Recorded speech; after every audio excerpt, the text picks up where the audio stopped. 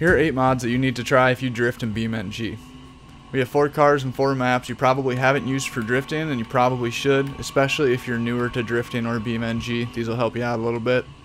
Number 1, the drift truck. This seems silly because the first vehicle isn't actually a mod, it's a base game vehicle, and it is it is one of the most underrated drift vehicles in the game. I may be biased to looks because I love mini trucks, but out of all the cars in this game, this is probably the easiest one that I have found to drift. This is a supercharged 6-speed, 8-cylinder truck that you can find at the bottom of the D-Series page. I usually drift this truck in first and second gear. One thing I love about this truck is you can keep it in second gear when you're pretty much a dead stop and it can keep the tires spinning. I do left foot brake in this truck quite a bit to keep the tires spinning and just to kind of balance things out since it is a pretty short wheelbase it likes to get whippy and that kind of helps.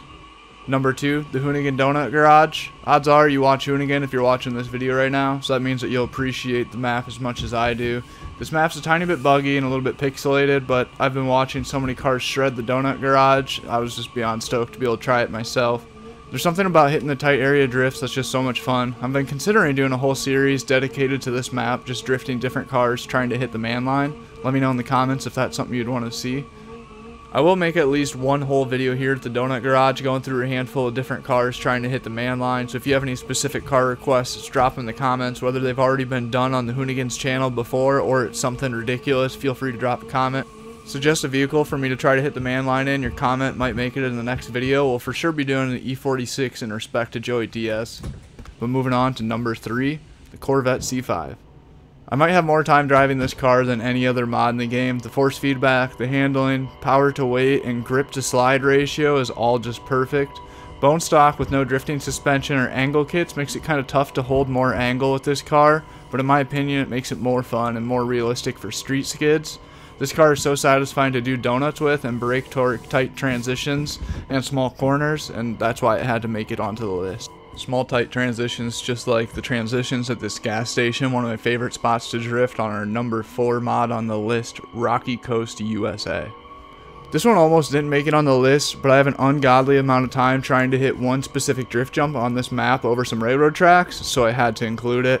This is a really great realism driving map with working AI traffic, but the small town is a lot of fun for hitting some drifts. There's a few different lines that you can hit, including the gas station, but the main thing I'm after is this drift jump, which brings me to number five, the drift van. Another non-modded vehicle on a modded vehicle list. I know, it's crazy.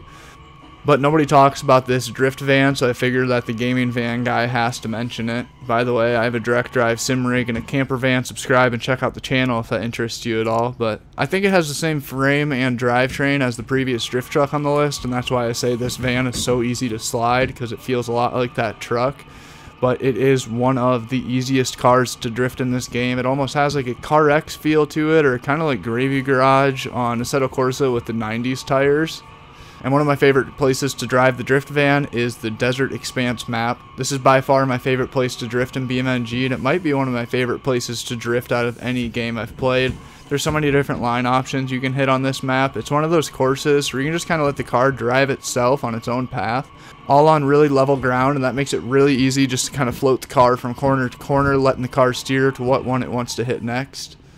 And just when you thought that this list couldn't get any more weird, prepare yourself for the last two drift mods in the video.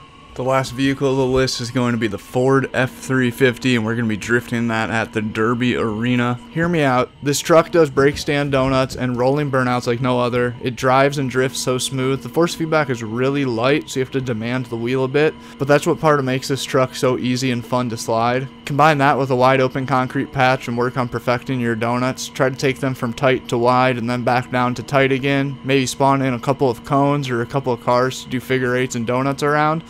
Or just go full Aussie, put your foot to the floor and whip the truck around until the engine blows up in the middle of the burnout pit. But either way, it's going to be a fun time. I do enjoy driving this F250, especially on the snowy maps and just drifting it around as it's such a smooth vehicle to drift. But that's it. If you guys have any suggestions that I missed, if you have any drift mods that you love more than any, drop them in the comments. I know that the main ones I left out of the video. I didn't want to mention the 200BX and all the mods that everyone else mentions, but if those are one of your favorites, comment below. Let me know what your favorite car to drift is and what your favorite map to drift on is.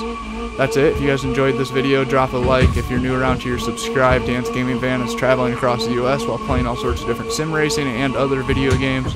If that's something that intrigues you, I'd appreciate if you stuck along for the travels. But that's it. Check me out on other social medias if you want to see the live streams or more frequent posts. I have videos on my entire setup from the van to the sim rig on my page, so if that's something that interests you, all that information is there. Also in the description, there's links for my stickers, shirts, and affiliate links for the entire rig that I use. So if you're wanting to help me out, support the channel in any way, those are all ways that you can do it. Otherwise, I'll catch you guys in the next one. I appreciate the watch time.